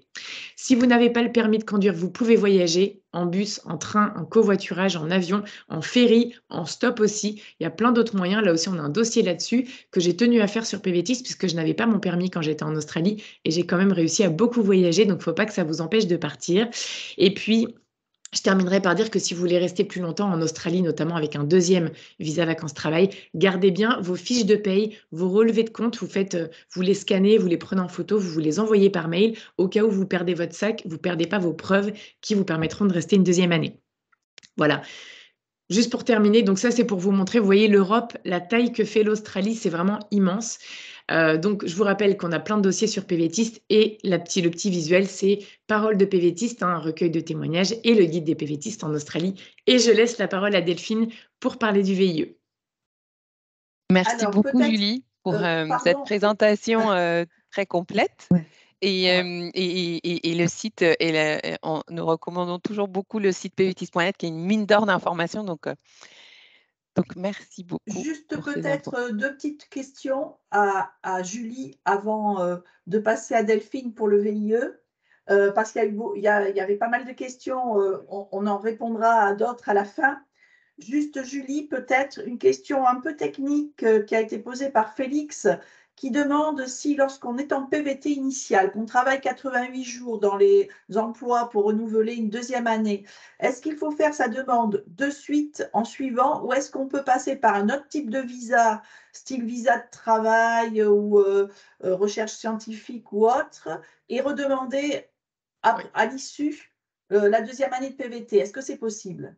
Aucun souci, effectivement, ça peut être euh, dans la foulée ou euh, deux années plus tard parce qu'on est encore en Australie avec un autre statut ou parce qu'on est rentré en France ou qu'on est allé vivre ailleurs. Il n'y a pas de, de, condition que ce soit dans la foulée. Euh, simplement, il faut encore avoir l'âge éligible. C'est tout. Super, merci. Et dernière question. on a, c'est Geoffrey qui, qui l'a posé au départ. C'est vrai que ces derniers temps, on a des retours de jeunes PVTistes qui ont des difficultés à trouver du travail en ce moment. C'est très récent. C'est ça, je lui ai dit. Est-ce que tu peux nous en dire plus? Je lui ai répondu parce que je l'avais vu, je l'ai dit un petit peu tout à l'heure, mais je sais que tu regardes les questions pour avoir déjà fait cet exercice. Je sais qu'on ne peut pas tout faire. Mais effectivement, j'expliquais qu'en ferme, on a des retours parfois euh, là de personnes qui nous disent que c'est un peu plus dur, mais il y a beaucoup d'autres domaines qui recrutent. Donc, il ne faut pas avoir d'inquiétude. Je pense qu'il ne faut pas se fermer à tout type d'emploi pour avoir le plus de chances de, de, décrocher quelque chose. Et puis pour les fermes, je suis un peu surprise. Je pense encore une fois que c'est peut-être des gens qui essayent de tous faire ce type de boulot pour rester une deuxième année. Donc, dans ce cas-là, anticiper un petit peu plus sa recherche d'emploi dans les fermes. Voilà. Et si ça bloque d'un côté, eh bien, en effet, se, essayer autre chose et puis euh, échanger. Et voilà. Il y, a, plein de choses à faire. Merci beaucoup. Je vous en prie. Merci à vous. Merci Julie, merci à tous. Euh, et on continue avec vous, Delphine, sur la partie euh, volontariat international en entreprise, spécifiquement aussi en Australie. C'est à vous. Merci Marion et merci Julie. En écoutant Julie, je me rends compte à quel point notre dispositif est complètement différent euh, de celui des PVT. On n'est pas du tout sur les mêmes échelles, sur la même dynamique. Euh, effectivement, c'est peut-être plus un, dispositif de niche, comme le disait Léo, mais euh, voilà, qui est complètement complémentaire et qui peut répondre à d'autres façons de voir le voyage et le travail à l'étranger. Donc, je vais tout d'abord vous présenter bah, qu'est-ce que c'est que, le volontariat international en entreprise. Donc, vraiment, le volontariat international en entreprise, on est moins dans la dynamique voyage, on est vraiment sur une première expérience professionnelle à l'étranger. On a deux types de volontariat, en fait, pour être vraiment précis. Donc, on a le volontariat international en entreprise, c'est-à-dire que vous allez travailler pour le compte d'une entreprise française à l'étranger. Vous pouvez aussi travailler pour le compte d'une administration euh, à l'étranger. Les administrations, généralement, c'est les ministères des Affaires étrangères, euh, la direction du Trésor, tout ce qui est administration française qui est implantée localement euh, dans, les, dans, dans les pays. vous permettent de également partir avec le dispositif VI, donc volontariat international. Vous partez donc du coup pour le compte d'une entreprise ou d'une administration pour une durée euh, de 6 à 24 mois. L'avantage, c'est qu'il y a certains pays qui, sur lesquels on peut partir uniquement 6, euh, 18 ou, 24 mois. Pour l'Australie, pas de problème, vous pouvez rester jusqu'à 24 mois de mission sur place. Euh, et au niveau du, choix des, métiers, c'est assez ouvert. ce sont des métiers, on n'a pas de, typologie spécifique de mission. Euh, étant donné que c'est l'entreprise qui fixe euh, la mission euh, à, son, volontaire. Donc, ça peut être du commerce, du marketing, de l'informatique. on a de plus en plus de,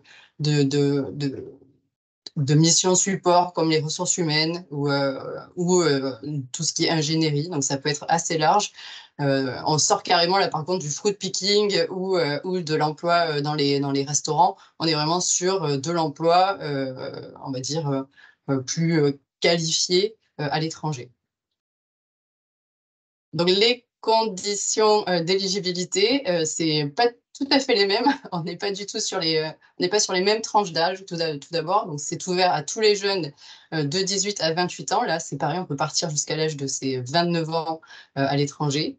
il faut qu'on soit de nationalité française ou ressortissant. On le voit pas là, c'est un peu coupé, mais de l'espace de l'Union européenne. Euh, donc, on a pas mal de, petits euh, Espagnols qui partent aussi euh, sur, des, pays dans l'Amérique latine ou même en Australie. On peut avoir ce genre de profil. Il faut être en règle avec ses, obligations du service national qui remplace le service militaire, avoir un casier judiciaire vierge et surtout ne pas avoir déjà fait de VIE ou de VIA. Euh, étant donné que euh, c'est une seule fois dans sa vie, on n'a qu'une seule chance de faire ce, genre de, dispositif, pas seulement en Australie, mais euh, au niveau mondial. Conditions un peu spécifiques en Australie. Alors là, ça va complètement à l'encontre de ce qu'on vous disait, c'est n'allez pas sur place pour trouver un VIE. Le but, c'est de ne pas avoir déjà travaillé en Australie pour pouvoir prétendre à un VIE. les autorités euh, australiennes ne vont pas accepter euh, que vous ayez déjà eu une expérience professionnelle euh, sur, sur, en, en, Australie pour que vous puissiez ensuite bénéficier d'un programme VIE. Et même si vous avez été résident australien, vous êtes peut-être né en Australie, vous avez passé du temps en Australie, et vous avez déjà été fiscalisé, on ne vous acceptera pas sur le, le, sur le dispositif des VIE vous rentrez euh, avec un statut de stagiaire. Donc pour eux, normalement, vous, arrivez d'Europe, vous êtes stagiaire, vous n'avez jamais travaillé en Australie. Et c'est quelque chose qui va être vraiment important. Donc en conséquence, vous avez déjà fait un Working Holiday Visa, vous ne pourrez pas enchaîner ensuite euh, sur un VIE. Sur les avantages du CPC, alors là, c'est carrément l'inverse. C'est vrai que sur le, sur PVT, bah vous allez sur place, vous trouvez un, un, employeur, vous vous débrouillez, vous, vous arrivez, vous, avec euh, un petit peu d'argent de côté. Là, c'est l'inverse. Donc, vous partez, vous avez déjà euh, une mission euh, identifiée auprès d'un employeur. Euh, l'avantage, c'est que bah, vu que c'est quelque chose qui est, qui est le VIE, c'est un dispositif qui est mis en place par l'État français. Vous partez sous protection de l'État euh, français, donc vous êtes sous la protection de l'ambassade. Donc, quoi qu'il se passe au niveau du pays, que ce soit par exemple là en crise Covid, il y a eu de grandes procédures de rapatriement de, de VIE, mais s'il y a euh, un tremblement de terre, là aussi, vous allez avoir toute la diplomatie française et tout le statut protecteur de, la France qui va se mettre en place pour vous rapatrier prioritairement. Vous avez vous n'avez pas à souscrire, vous, une assurance euh, sociale ou une assurance rapatriement, c'est inclus dans le package. Donc, c'est quelque chose qui est packagé, où vous n'avez rien à faire et vous bénéficiez d'une des meilleures, euh, en fait, je pense que c'est à peu près la même que celle pour les PVTistes, d'après ce que j'ai entendu, mais pareil, qui vous permet de, couvrir toutes vos dépenses de santé, toutes les problématiques de rapatriement, tout ce qui est assurance, tout ça, c'est inclus dans le package. Si vous partez avec quelqu'un, la couverture sociale couvre aussi votre partenaire, donc pas de souci à ce niveau. Et là aussi, inversement, pour le, dans une autre dynamique que pour le PVT, les années que vous allez passer en VIE à l'étranger vont comptabiliser euh, pour votre retraite. Alors, pas au niveau euh, pécuniaire, on va dire, mais au moins les, années que vous allez euh, passer à l'étranger vont être comptabilisées quand à la fin de votre carrière, on va compter le nombre d'années que vous avez passé à travailler. Ah, non, je vais pas je pense que le, plus gros avantage de mon point de vue, c'est quand même l'indemnité. Donc, vous êtes volontaire, vous ne touchez pas, selon le, terme, un salaire, vous touchez une indemnité, mais qui est euh, quand même assez conséquente, vu que vous allez toucher une rémunération de 2 980 euros par mois, qui est non imposable. Donc, c'est quand même euh, voilà, un, dispositif, qui vous permet de, partir avec quand même une, une bonne sécurité euh, financière. Ça peut varier l'indemnité selon les villes. Euh, je sais qu'à Sydney, touche légèrement plus, euh, mais c'est parce qu'on ajuste en fait le prix euh, moyen et combien coûte un logement dans, dans, dans, certaines villes. Donc, on essaie d'ajuster au mieux les indemnités. Donc, sur Sydney, je pense qu'on est plus autour des 3 000, 3 050 euros par mois. Donc, c'est quand même quelque chose d'assez intéressant. vous pouvez en plus négocier la prise en charge de votre logement par l'entreprise c'est-à-dire que si euh, dans 50% des cas, ça marche, les, négociations euh, sont assez, euh, assez riches. Et donc, si l'entreprise prend en charge votre logement, vous pouvez tout à fait choisir votre logement, mais ils vont financer votre logement pour vous. vous aurez un abattement sur votre indemnité de 20%. Donc, vous perdez 600 euros sur l'indemnité, mais l'employeur vous prend en charge votre logement. Donc, c'est à vous de réfléchir quel est le plus avantageux pour vous. Dans le package, euh, VIE est également fourni donc tout ce qui est aller-retour, euh, billets d'avion et un forfait bagage. Vous pouvez euh, emmener 150 kg de bagages avec vous, ce sera pris en charge par votre entreprise.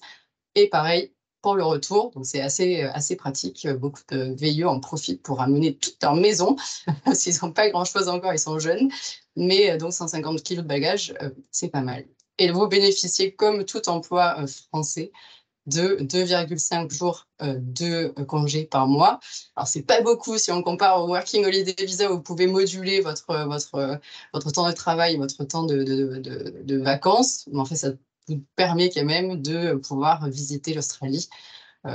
si vous pouvez les cumuler, vous pouvez faire, vous pouvez négocier aussi du télétravail avec votre entreprise qui vous permettra d'être un peu plus flexible. Voilà pour les principaux avantages du VI. pour vous faire peut-être une, voilà, euh, un panorama un peu plus large. Donc, le VIE, c'est un, dispositif public euh, qui est soutenu par l'État français.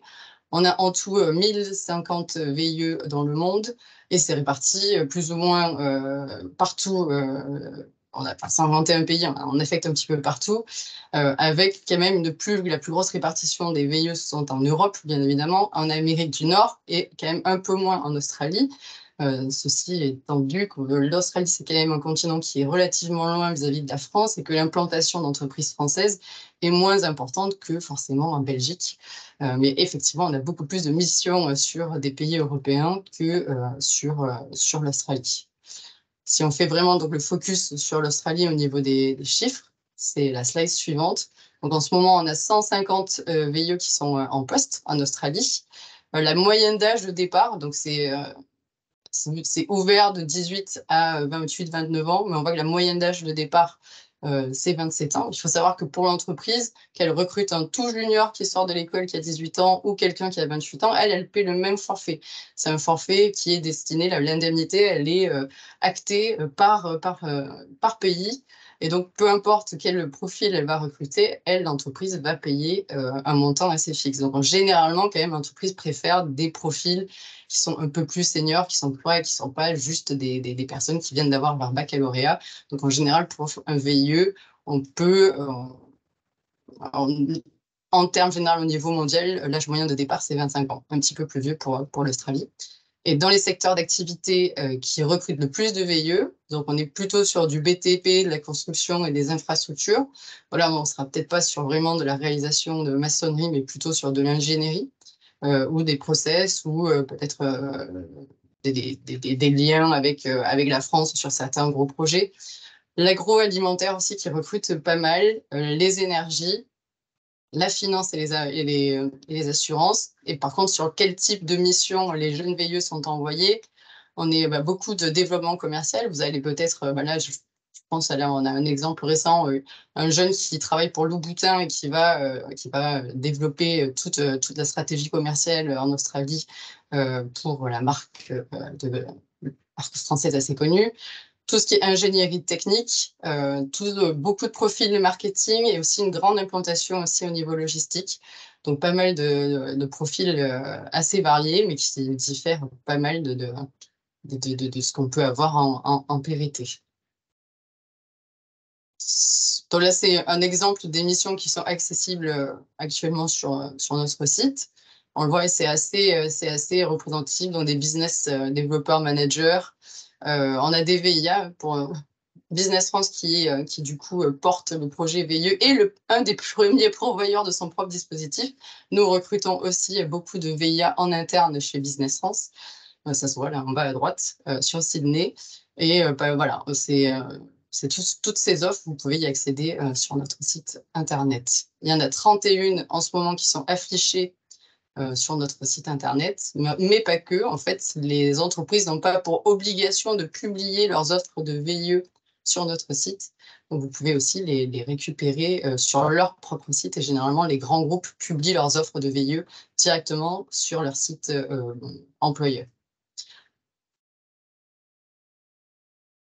Alors, quand vous arrivez, alors on est moins D'ailleurs, je pense que les approches sont complémentaires et, euh, et tout ce que propose Julie, c'est assez intéressant. On est moins dans l'accompagnement peut-être que ce que peut proposer Julie en termes de vraiment d'aménagement sur place, de vous aider. Euh.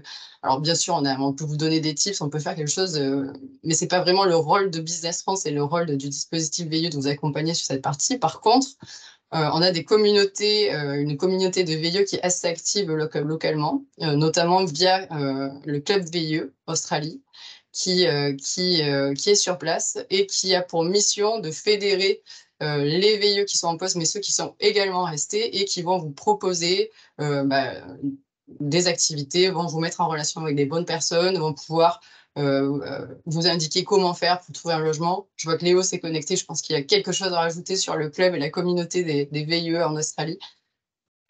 Alors, au-delà du fait que je reconnais un certain nombre de têtes, dont celle de Stéphanie et, euh, Jean-Philippe, qui est du coup un ancien VIE et, en charge du, réseau en Australie.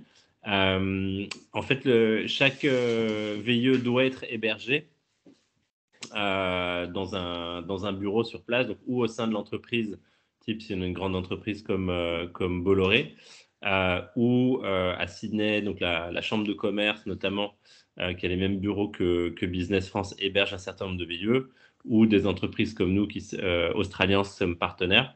Et donc, dans le cadre de l'hébergement, au-delà du, du, bureau et de l'Internet, on a un responsable administratif qui aide le VIE dans ses démarches au jour le jour, euh, et voilà, sur les aspects euh, aussi extra-professionnels, euh, s'il a des soucis sur sa recherche de logement ou autre. Donc en fait, c'est vrai que c'est un dispositif qui est vraiment 5 étoiles. en tout cas, il y a peu de gens proportionnellement par rapport au, nombre de PVT qui en bénéficient, mais en tout cas, c'est très bien pensé, notamment sur la partie intégration. vous ne serez pas seul à l'arrivée sur un VIE. je voulais juste préciser ça bien sûr. Donc, effectivement, si vous avez la chance que votre entreprise soit déjà implantée euh, en Australie, bah, elle va vous positionner dans ses bureaux. Par contre, si c'est vraiment une entreprise qui veut euh, ouvrir un marché qui elle ne dispose pas encore d'implantation de, locale, bah, voilà, on fait partie, euh, on fait appel à nos partenaires, dont, dont Léo est le digne représentant pour, pour héberger et pour accompagner les jeunes sur place, parce qu'ils n'auront pas de, de structure locale interne, on va dire. Euh, et donc, il y a des groupes WhatsApp de VIE qui, existent euh, et qui permettent des échanges et des bons plans, et de l'organisation de voyages et de déplacements. Sur place, nous avons un bureau avec euh, une personne vraiment en charge du VIE qui peut vous accompagner et une directrice pays qui, qui connaît très bien Léo, qui également seront toujours là pour répondre à vos questions et sur place vous aider dans toutes vos démarches administratives locales. Donc, comment faire? Pour trouver un VIE, bah, déjà, c'est vraiment d'aller consulter euh, toutes les offres disponibles sur notre site euh, que je vais vous présenter ensuite. Euh, c'est la première chose, de bien vous enregistrer. C'est un job board. N'hésitez pas à bien compléter toutes vos informations en les mettant visibles aux recruteurs. Alors, certains vont peut-être vous proposer une autre destination que l'Australie, mais ça vaut quand même le coup qu'ils puissent consulter vos CV. Euh, n'hésitez pas aussi de, voilà, ce que je disais, de consulter euh, les sites carrières des grands groupes et de postuler euh, sur des candidatures spontanées. En fait, la stratégie des grands groupes pour attirer des nouveaux talents, c'est de proposer une expatriation, de proposer un VIE. Donc même si s'il n'y a pas d'offres qui sont qui sont publiées en ce moment sur l'Australie, vous pouvez très bien aller voir un groupe et leur dire bah, voilà moi je suis intéressé par l'Australie et et je, bah, je, je souhaiterais partir sous contrat VIE euh, les grands groupes connaissent très bien le dispositif et vous pouvez euh, très bien euh, essayer de les titiller pour, pour qu'ils vous envoient. Ça, ça se fait de plus en plus. Et bien entendu, bah, ce n'est pas un scoop de scruter les réseaux sociaux. vous allez sûrement voir des, des, des, offres passer, et même sur Business France, de temps en temps, on pousse des offres qui nous paraissent intéressantes. Donc, le site dont je, ça permet vraiment de, centraliser quand même toutes les demandes. C'est donc le site monvi.businessfrance euh, qui est accessible partout. Pour partir en VIE, il vous faut absolument votre numéro d'enregistrement euh, qui euh, de, candidat qui va vous être donné dès que vous allez remplir toutes vos informations et que vous allez remplir votre CV en ligne. Donc, enregistrez-vous. mettez à jour vos informations et suivez. Vous pouvez générer des alertes. C'est quelque chose qui est, qui est assez euh, facile à, manipuler avec quelques conseils pays aussi, mais qui ne seront jamais aussi détaillés que ce, que Julie et, Léo viennent de vous, de vous donner. Euh, bah voilà pour le, pour le dispositif VIE. Euh, je vous ai mis les contacts des personnes qui sont basées, assignées et qui sont en charge du programme. Vous pouvez vous, vous rapprocher d'eux si vous voulez plus d'informations locales. Puis on a quand même une, une ligne info plus globale si vous avez vraiment des dispositifs sur le VIE, pas seulement sur, euh, sur l'Australie. Merci beaucoup Delphine pour euh, cette présentation sur le VIE. On a des questions oui, oui, dans la barre de chat. Deux petites questions. Euh, la première d'Émilie qui va avoir 29 ans, et qui voudrait savoir si c'est trop tard ou pas pour candidater. Alors pour candidater, oui, là, ça risque d'être un peu trop tard parce qu'il vous faut avoir trouvé l'entreprise et avoir signé votre, acté votre départ avant vos 29 ans. Et vu que la procédure pour mettre en place un VIE, c'est euh, deux à trois mois, vous allez être un petit peu juste, malheureusement. Et puis pour préciser aussi, je crois que euh, Delphine, tu en as parlé, mais Adèle nous demande si un diplôme de, de master est toujours souvent demandé ou pas que. Alors, on n'a pas d'exigence sur le niveau d'études, il n'y a pas du tout de, limitation. On, peut avoir un BTS et partir euh, faire un VIE. On a eu de temps en temps des boulangers qui partaient en VIE. C'est quand même assez exceptionnel et je vous le, je vous le cache pas. En général, c'est, mais comme je vous l'ai dit, Business France n'est pas vraiment dans le processus de recrutement. Ce sont les entreprises qui recrutent. Et vu que le VIE, c'est un, la rémunération du VIE ne dépend pas de son expérience, mais vraiment du pays dans lequel il va. Les entreprises ont tendance à, privilégier des profils un peu plus euh, experts, mais rien ne vous empêche. On voit de plus en plus des bacs plus 3, des bacs plus 5 qui, euh, qui partent. Enfin, les bacs plus 5, ça c'est dire classique, mais de plus en plus euh, de bac plus 3, des formations courtes, des BTS peuvent accéder au dispositif VIE. Donc, pas de limitation, allez-y. Euh, et je pense qu'il y a des politiques maintenant RH dans les grands groupes qui favorisent justement la diversité des profils et qui vous permet de, voilà de, d'être de, de, dégoter un, un fameux euh, sésame VIE même si vous n'avez pas euh, des diplômes le plus plus plus on va dire. L'idéal c'est de consulter en effet les offres pour voir exactement ce qui est proposé et les différents niveaux de, de diplômes demandés. Merci beaucoup il y a une dernière question. Oui, ah, il y a une dernière question ah d'Adèle. pardon. non, non, vas-y. Est-il facile de trouver des offres VIE dans le secteur de l'édition, l'économie, des métiers du livre? Honnêtement, non, je ne pense pas que ce soit facile. Euh, ce n'est pas un secteur avec lequel on a Business France a beaucoup euh, travaillé. Ça ne veut pas dire qu'il peut, peut-être aussi c'est par méconnaissance euh, de l'édition. On n'est peut-être pas, on, sensibilise peut-être moins les entreprises de l'édition aux possibilités de faire un VIE. Après, rien ne vous empêche, si vous êtes dans l'édition, de proposer à votre employeur euh, de mettre en place un dispositif VIE. Il n'y a, pas de, il a pas de restriction. Nous, on est ouvert à tout type de, mission. Après, c'est pas euh, là, à l'heure actuelle, dans, les offres que nous avons en ligne, il, y a, il doit en avoir très, très peu dans le domaine de l'édition, malheureusement. Oui, parce qu'il y a les offres et puis en effet, il y a les, il y a les démarches spontanées vers les entreprises pour, euh, pour, se, pour proposer et se trouver le VIE, comme on parlait Delphine. C'est important pouvez mm. vous-même aller démarcher votre entreprise et leur proposer les dispositifs et on peut venir en appui pour, euh, pour vous aider dans cette démarche, bien entendu. Eh bien, merci. Merci, Delphine. Bien, on arrive euh, à la fin de, cette présentation. Encore un grand merci à Léo, Julie et, Delphine. Un petit point euh, par rapport à, à l'accompagnement que vous pouvez dont vous pouvez bénéficier au sein de, Pôle emploi. Euh, si vous n'êtes pas euh, encore euh, inscrit dans notre, dans notre service mobilité internationale, vous avez tout à fait la possibilité d'être accompagné dans ce projet de mobilité vers l'Australie et même d'autres destinations. et pour cela, vous pouvez soit en faire part à votre conseiller, votre conseillère dans votre agence, ou nous écrire à l'adresse qui est indiquée ici, emi1 at pôle-emploi.fr. Euh, vous pourrez également rejoindre notre réseau social euh, propre à, Pôle emploi qui, s'intitule Sphère euh, Mobilité internationale, dans laquelle vous allez pouvoir euh, échanger avec d'autres demandeurs d'emploi qui, euh, qui sont, dans votre cas, à la recherche d'un emploi en Australie ou ailleurs.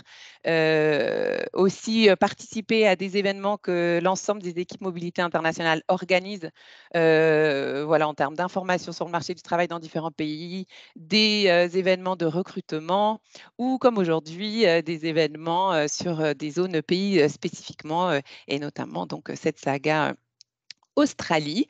voilà pour l'accompagnement si jamais vous n'étiez pas accompagné par un conseiller dédié à la mobilité internationale.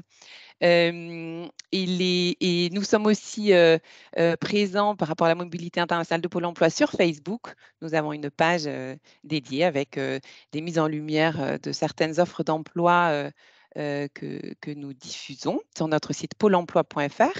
Et, et aussi l'Emploi Store. Euh, Séverine a mis dans le chat euh, plus haut et plutôt le, le lien vers l'Emploi Store avec une page, une section dédiée principalement à la mobilité internationale. Voilà aussi la checklist aussi avant le départ vers l'Australie euh, proposé par Léo qui avait été euh, diffusé dans le chat également. Et pour terminer, voilà un petit rappel sur les prochains épisodes de cette saga Australie. Sur que, que, nous animerons tous ensemble les, avec, avec Léo, toujours, le programme que, que Séverine, tu avais rappelé au début de cette conférence et qui est affiché Merci, merci Marion. Effectivement, euh, un bel, un bel événement, très riche euh, d'informations, euh, très riche d'anecdotes. Merci vraiment à, tous les trois pour la richesse des échanges qu'il y a eu. Merci aussi sur l'interactivité du chat qui a permis, des fois, même si on a l'impression d'être le plus exhaustif possible, eh ben, de penser à des questions auxquelles on n'aurait pas pensé. Donc, c'est toujours, toujours très intéressant, effectivement. effectivement, dire vous donner rendez-vous pour le prochain, le prochain numéro, le troisième numéro de notre saga Australie, qui sera effectivement le 26 mai prochain sur la stratégie de recherche d'emploi avec toutes les trucs et astuces sur les techniques de recherche d'emploi. Et on remercie d'ores et déjà Léo parce que son site est très, très, très riche aussi en informations pratico-pratiques pour démarcher le marché de l'emploi australien. Et c'est l'occasion pour moi euh, de conclure euh, aujourd'hui cette, cette séquence vu le temps qu'il y a, on ne va pas pouvoir prendre toutes les questions, mais ce qu'on vous propose, c'est de poser vos questions directement sur EMI1 at pôle-emploi.fr pour les personnes qu'on aurait frustrées, pour lesquelles on n'aurait pas répondu tout de suite en live pourrez le faire en différé. Et je voulais vraiment terminer sur une, une petite pointe, euh, j'ai envie de dire, euh, globale. Effectivement, on a souhaité aujourd'hui vous présenter les dispositifs VIE et PVT parce qu'ils nous semblaient extrêmement complémentaires.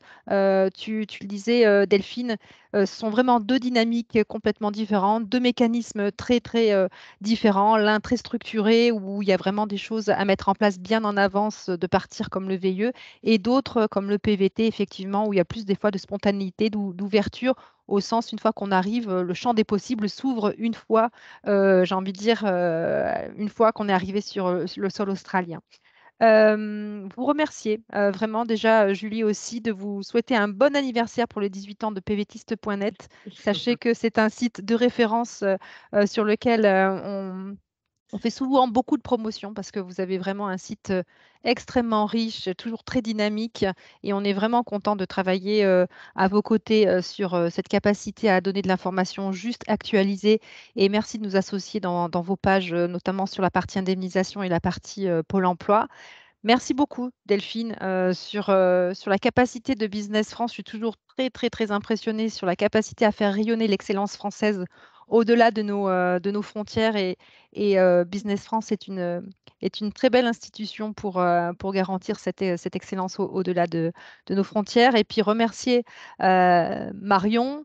et, Sylvie, mes deux collaboratrices sans lesquelles cet événement n'aurait pas pu être mis en place. Merci à elles pour euh, leur euh, travail au quotidien, leur implication. Et je terminerai euh, par Léo. Merci pour la confiance témoignée, renouvelée à chacun des, des, des, numéros de cette saga Australie. On est parti un petit peu d'un pari fou en début de, en fin d'année dernière en se disant Léo, qu'est-ce qu'on fait? Allez, on ne va pas faire un webinaire, on va pas en faire deux. Et pourquoi pas on ferait une saga? Et du coup, l'idée est partie comme ça, un, jour de plein soleil fin d'année. Et, et, voilà, aujourd'hui, quelques mois plus tard, on est dans le on est dans la réalité. Merci Léo d'avoir rendu euh, cette aventure euh, possible aujourd'hui et les prochains mois. Merci à toi. Merci beaucoup Séverine. On est toujours preneur de, feedback hein, sur euh, ce qu'on fait bien, moins bien et ce que vous voudriez voir dans les, dans les prochains épisodes. Aujourd'hui, on était très content de, du coup de, de s'associer avec du coup Julie et, Delphine de, de Business France.